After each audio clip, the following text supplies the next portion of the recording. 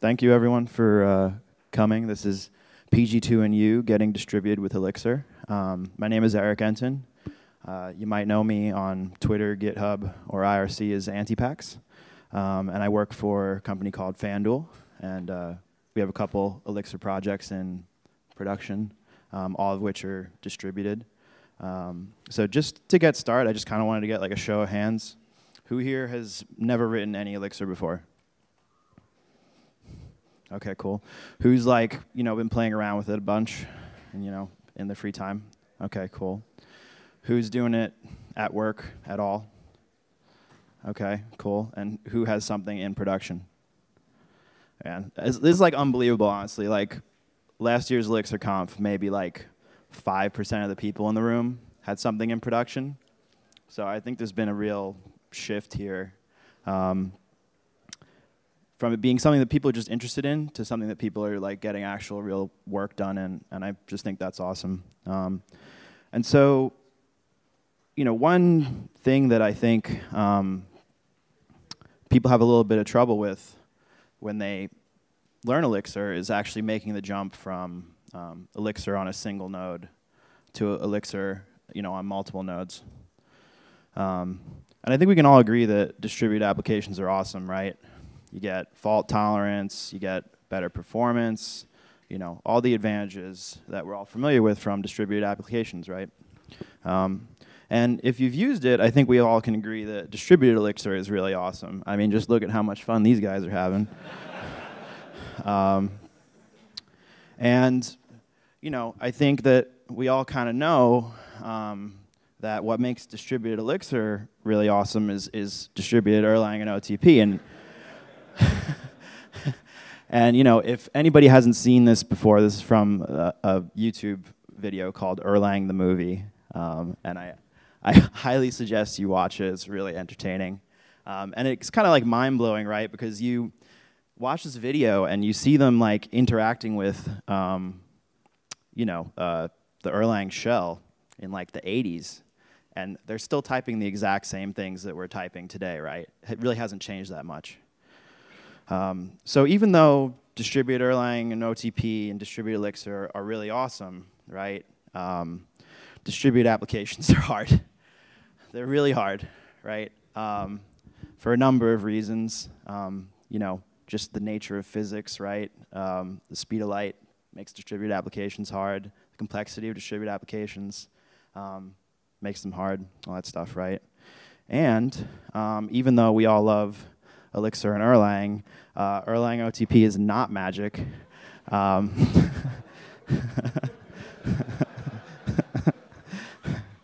right, and, and thank you to whoever created that thing on Google image search. I don't know if anybody here has ever done a presentation before and they just type something into Google image search, hoping that maybe someone has created an image that fits a term. And when I typed Erlang is magic, this is what came up, and I. I, that's unbelievable. but um, it does provide some really nice tools that make distributed applications like a little bit easier to build, right? Um, and one of these tools, shockingly, is called PG2. And PG2 provides distributed named process groups. Okay? Um, so what is that? Um, PG2 allows us to create, join, and query groups of processes across a cluster, right? So in detail, you know, we can access a group of processes by a common name, right? So this is similar to like process registration. You give a process a name, you can find it later on the local node, right? Except in this case, there's a set of processes that are given a name, and it can be across multiple nodes, right? And we can send a message to one, some, or all of these group members. And if a member process terminates, it's automatically removed from the group. And that's like really useful and important right? So um, that's kind of the high level idea of what it does, right? And I'm sure some people here like, I don't really, still don't really get it. So I always find it's really useful to take a look at, you know, an example of how, how the tool is actually used, right?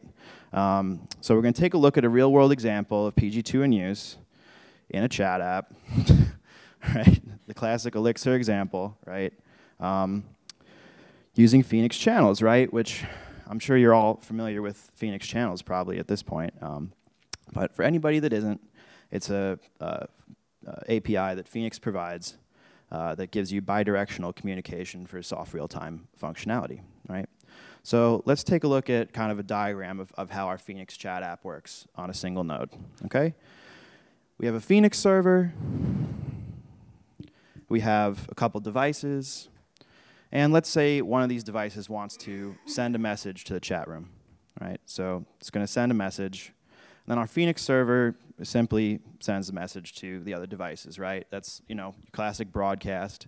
Um, and that's how, on a single node, a chat app can work, right? We receive a message, we broadcast it to um, the rest of our listeners. And, you know, that's easy, right? Um, that's not complicated at all. Um, you know, I'm sure people have built that themselves before, um, you know, before Phoenix existed, right? But uh, you know, what about when we outgrow one server, right? Um, and I, I, put a little note here that it's probably for redundancy because you're probably not going to hit Phoenix's performance characteristics limits on a single node, right? Um, so let's take a look at our distributed Phoenix chat app now, right? So we still have a Phoenix server, but now we have a second Phoenix server right? And this little line in the middle just sort of is representation of the fact that um, anything that is on, you know, except for the servers, any items in this diagram that are on separate sides of this line are not are connected to the given server that they're on the side of the diagram with, right? So we have a tablet and a phone connected to the first Phoenix server, and a browser connected to the second Phoenix server. So let's see what happens again when, when our first client uh, wants to send a message, right? We send the message to the first server, right? But what do we do now? Because we have this browser client that's connected to a separate Phoenix server, um, and this phone client, which is still connected to the same server, right? So we can't use that exact same strategy we used before. What we can do is we can send the message from our server to our other servers um, and to any clients that are connected locally. And then our other server can send that message on to uh, any clients that it has connected to it that are interested in that message. Um, so the question, I mean, so this, this is a familiar pattern, right? This is like fan out. I'm sure people have seen this before, and, and this kind of can um, scale out to you know as many servers as we have. Essentially, you know, instead of it being one arrow between this first server and the second one, we'd have this arrow between multiple servers, right? But the question is, is, is, is how is this actually implemented in Phoenix, right? Um, how, do, how do we do that? Uh, you know, um, and if we take a look at a really sort of simplified um, version of how Phoenix Pub Sub works, right? We have a Pub Sub server, which manages some channels, which multiple sockets can be interested in each uh, channel. And then we have clients which are attached to those sockets, right? And you know, again, this is an incredibly simplified version of um, how this works, right? But the really important part here is that this pub sub server is a process that's running on each node, right? That's the important thing to note here. Okay, so going back to our um, distributed uh, chat app, you know, we have a question, right? If, if we have a pub sub server on each of these nodes, and we want to send this message from this first server to the second server, um, how do we find the pub sub server on our nodes, right? Like, we can't just register it because that's a local thing, right? I mean, technically, we can kind of get around that. Um, but it's not the best way to do it. And you know, um, so what we can use is PG2.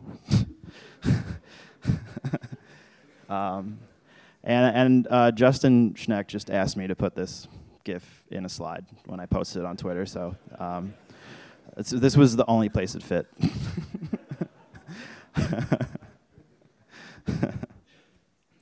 So um, yeah, by having our Phoenix Pub sub servers join a PG2 group, right, we can fan our messages out across the cluster. And you know, I just wanted to put a little disclaimer here that you know, in practice, Pub sub is implemented you know via adapters. So we can use PG2, Redis. Um, as Chris was talking about earlier, you know, maybe one day we can actually use uh, Phoenix Presence for process groups. Um, so maybe in the future, Phoenix won't even need PG2. So this talk is already irrelevant. Not really. but um, let's take a really quick look at like a really simplified code example of, of how this actually works within Phoenix, right? So here we have um, a super simplified Phoenix pub sub server that uses PG2, right? Um, and it's a gen server. And when the server starts, it's going to create a group. So one thing you may notice here that's an advantage of PG2 over um, you know, normal process registration is that your group's name doesn't have to be just an atom, right? It can be any Elixir term. So in this case, our group's name is uh, a tuple containing the atom Phoenix, or P PHX, and a server name. And the server name is kind of just a way for if you have multiple Phoenix apps within one node to separate out their, um, you know, their pub sub servers. Um, so this server name is pretty much going to be, you know, your OTP app's name, just so you have an idea what that's for. Um, and after we create this group, we're going to join this group. And another thing that you may notice um, is that when we join a group, it doesn't have to be um, ourselves. It could be any process uh, that we have the PID of, right? So after we've joined this group, uh, what do we do with this, right? And if we take a look a little bit further down in the code, um, we'll see something similar to this. It'll be a, a broadcast um, function, right, which takes a server name, um, a topic, and a message. And all we're going to do is, is use PG2 to get the members of our group, which are going to be PIDs. And then for each of those PIDs, we're going to send it a message saying that we're broadcasting this topic and this message, right?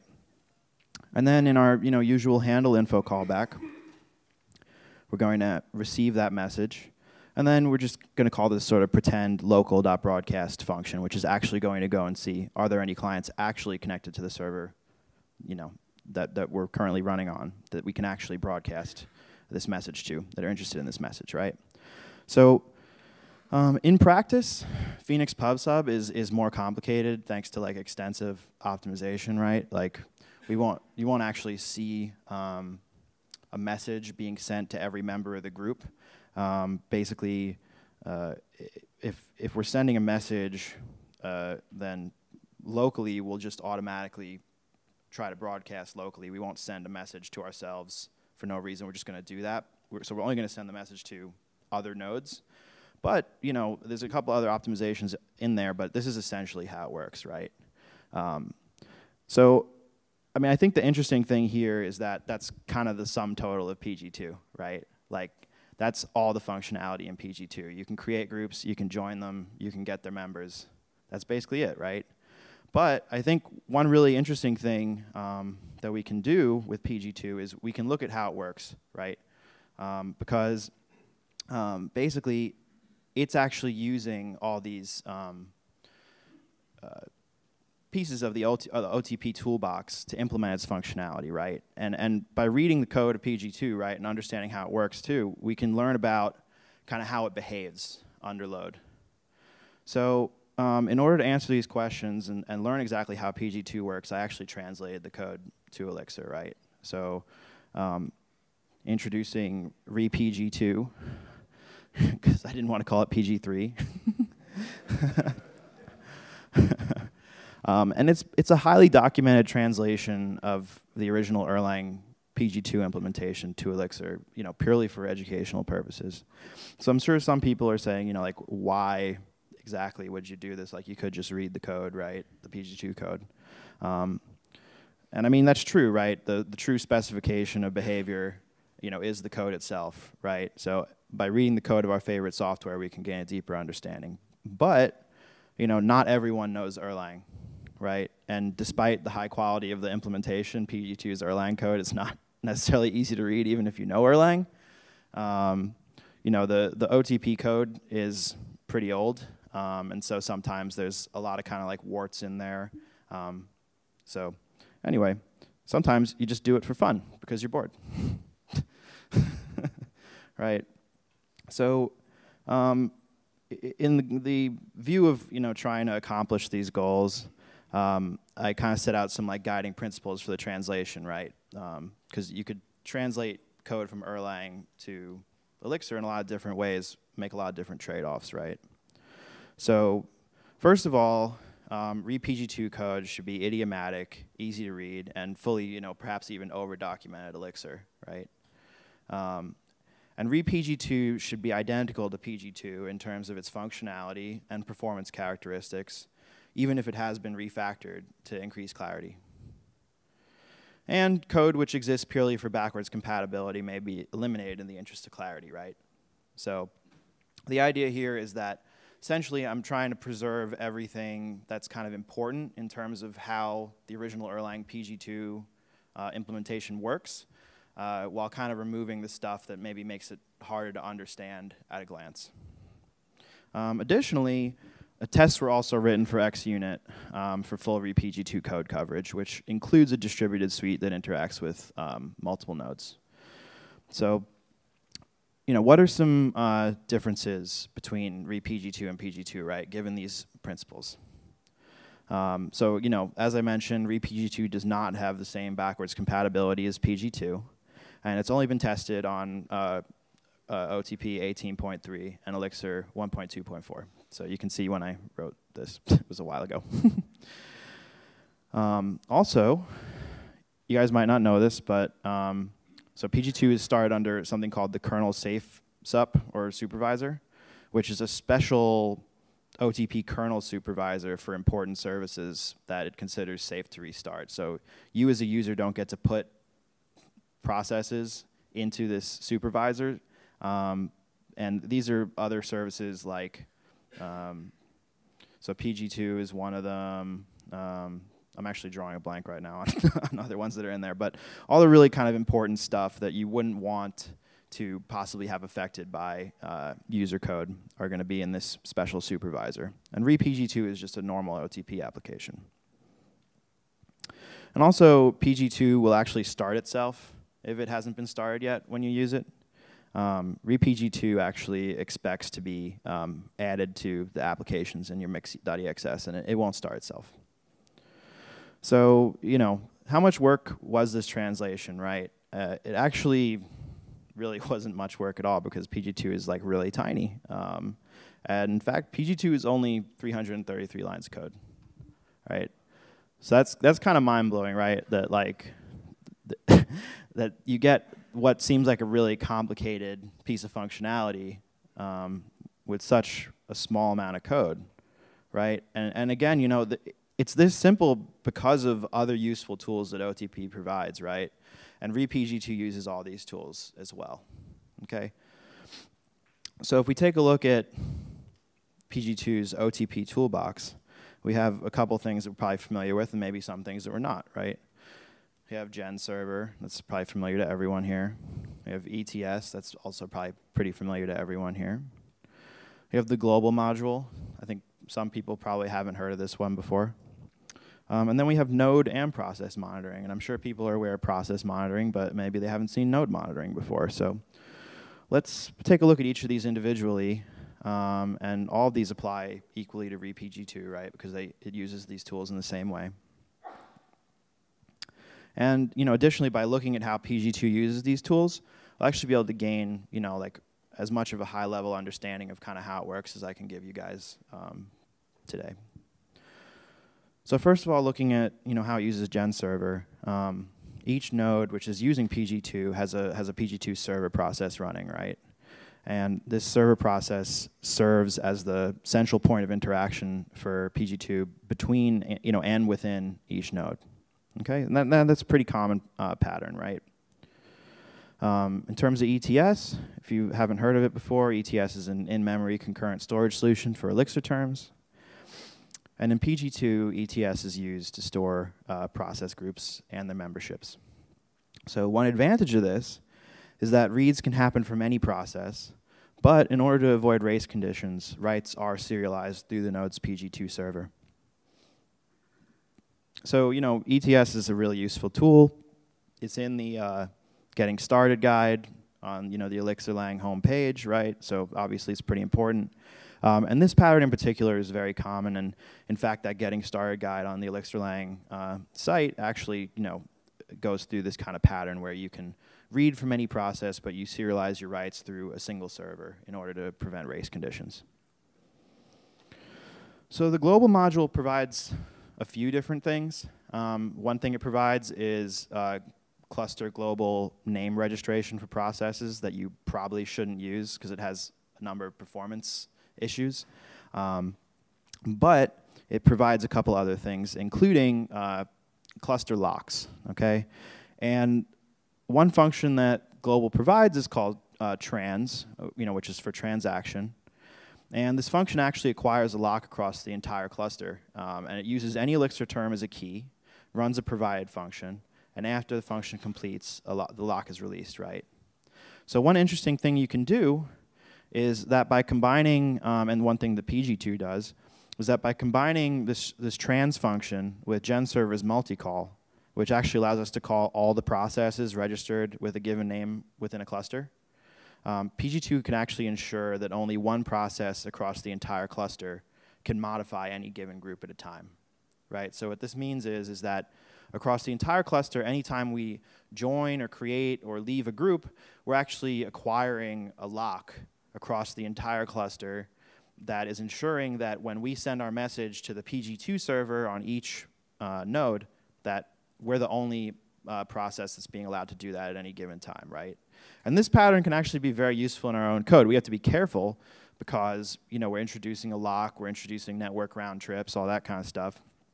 But transa- you know, a global transaction plus a multi-call can be very useful in terms of synchronizing uh, activity across an entire cluster, right? Um, and then we have node and process monitoring. Okay, so one interesting thing that a lot of people are probably not familiar with um, is a function on the module net kernel called monitor nodes. And this actually allows the calling process to register for notifications about nodes connecting and disconnecting from the cluster.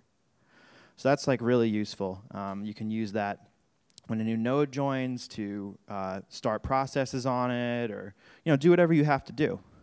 Um, and in PG2's case, when the PG2 server receives a notification that a new node is connected, it actually merges the groups and memberships between itself and the new member's PG2 server. And additionally, um, PG2 registers a monitor for each process which joins the group, right? And if the monitor reports that the process is down, which could be either because the process died or because its node disconnected, the process's membership is actually removed from the local view of the data. That's pretty much all, that's how PG2 works, right? That's, that's kind of at the high level, like, that's it really, right? So kind of what are some like key insights that we can take away from, from those PG2 implementation details, right? So first of all, PG2 uses global locks, right? And that's not ideal. um, so while reading group memberships is very fast, right? Um, modifying them is actually a globally locked operation requiring multiple network round trips, right? And what that means is, is that we may run into problems with lock overhead if our groups contain a large number of memberships, right? So PG2 may not be the solution for you if you have thousands of processes that you're trying to put into a group across a cluster that you all want to send a message to, right? That's probably not the right solution. However, if you have only maybe one process per node that's going into a group, this might be fine. And especially if they don't restart very frequently, this may be totally okay. So another insight is that PG2 is actually a distributed database, right? Um, we have some data. It's distributed across multiple nodes. We can query it. We can write to it. It's a distributed database. And so when we talk about distributed databases, we talk about the CAP theorem, right? And in terms of CAP, PG2 is, is AP. It's available and partition tolerant, right? And the reason why it's AP is because cluster partitions will actually only see groups and memberships from nodes that are reachable, right? Um, however, um, PG2 is eventually consistent in that it will automatically heal from any partitions. You know, again, like as I mentioned before, when a new node joins, we're actually going to merge all of the data from those two nodes together, okay? And, you know, this is kind of like one of the reasons why PG2 can be so simple is because process groups are actually like uniquely easy to distribute uh, due to monitors and the fact that conflicts can be easily resolved by merging, right? Like normally in a distributed database, you have to determine what to do when there's two conflicting writes. You have to determine what to do when you know a new node joins or a node leaves, right? Because process groups, basically the semantics are like, if I can't reach this process, I don't want it in my group locally anyway. Um, when we see the process has gone down due to the monitor, we just remove it from our local view of the data, and that's fine. And because when we want to, you know, uh, resolve the conflicts, We can just merge all the data together because these PIDs are, um, you know, unique. Um, it's just it's very easy to handle these kinds of problems that normally show up in a distributed database. And so, you know, I'll leave you with that, you know, overall PG2 is like an amazingly powerful tool. Um, but you should just be aware of the caveats, right, before you use it. And that's kind of maybe one of the reasons why um, what Chris was talking about today is so cool, is because, you know, when we kind of move to this totally decentralized, um, you know, lock-free implementation of process groups, um, you know, we can have those like process groups with, you know, maybe thousands of processes in them, and that's not a problem. So I'll leave you with, you know, you should check out RePG2 for more examples. Um, you know, I wanted to kind of put a whole bunch of code on the screen today, but that never really turns out so great. Um, so check out RePG2 for more examples, including how to build a distributed test suite, which I think is something that people are probably interested in seeing how to do. And RePG2 actually has um, a little bit of extra code that actually handles starting and stopping uh, the other nodes in the test for you, so you don't have to manually start nodes when you do your test, which is kind of nice. Um, and that's my talk. So thank you all for coming, and if you have any questions. Um,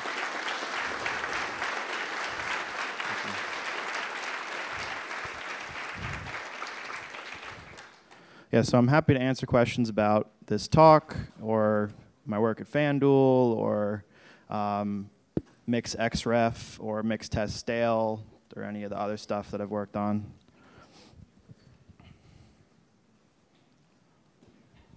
Hi. How do you connect Erlang nodes to each other um, mm-hmm. if you have an auto scaling deployment? Because you need to be able to connect nodes together to create a PG2 group, right? Yeah, sure. Um, so I, we actually do this um, on EC2 at FanDuel. Um, and basically, the way that we implement it is, is that each node that should uh, be connected to each other is actually given an EC2 tag.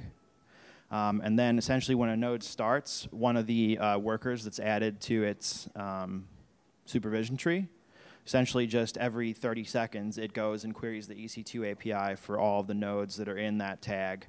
And then it just tries to connect to all of them that it isn't already connected to. So it's pretty simple. Yep. Mm -hmm.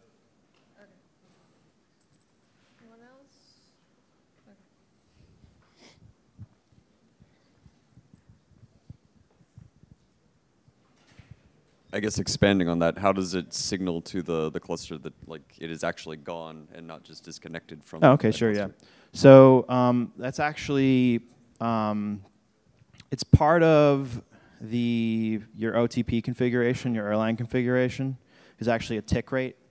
So I think the default tick rate is 15 seconds, and the way that that works is is that every 15 seconds, every node that's connected in your cluster is going to essentially ping every other node. Um, and also what's configurable is the number of these ticks that can pass by without a response from another node to indicate that that node is, is no longer connected to the cluster. So once that number of ticks passes, the node is considered gone. And it can come back by, you know, in, in the case that we were talking about before, it comes back by maybe, you know, once the network issue or whatever resolves, um, that every 30 seconds when it checks the tags to find all the other machines, it'll eventually come around and find a node that it can connect to and it'll reconnect. Yeah.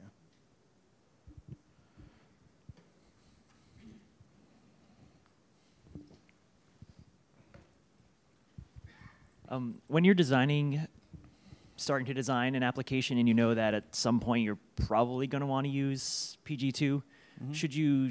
Is it better to sort of just design that way? You know, use it from the start, or do you just do you find it's easier to sort of assume you're only running everything locally and then sort of add PG2 on later?